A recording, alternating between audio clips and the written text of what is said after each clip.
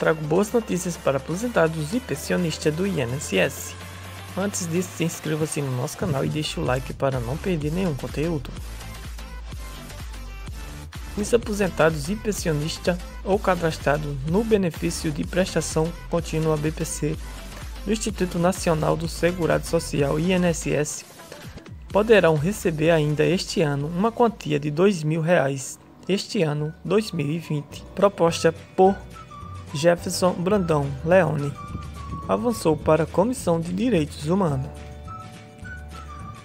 O texto do pagamento do abono extra no valor de R$ 2.000 foi registrado no dia 19 de junho e já colheu mais de 26 mil assinaturas online a favor da sua implantação.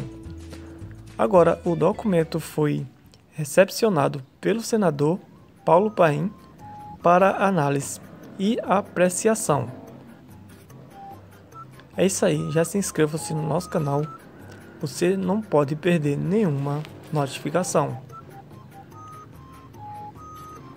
De acordo com o texto, a proposta visa implementar o pagamento de um abono extra no valor de R$ 2.000 aos aposentados e pensionistas e inscritos no BPC do INSS durante o estado de calamidade pública, previsto até dezembro.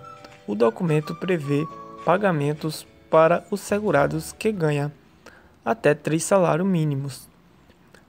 A nova proposta foi pensada com o objetivo de ser mais uma ferramenta no combate à pandemia do novo coronavírus. Além disso, foi pensada por ser extremamente importante aos beneficiários do INSS. Esse é o vídeo que eu trago para vocês. Se gostou do vídeo, se inscreva-se, deixe o like, comentem e não perca nenhum conteúdo.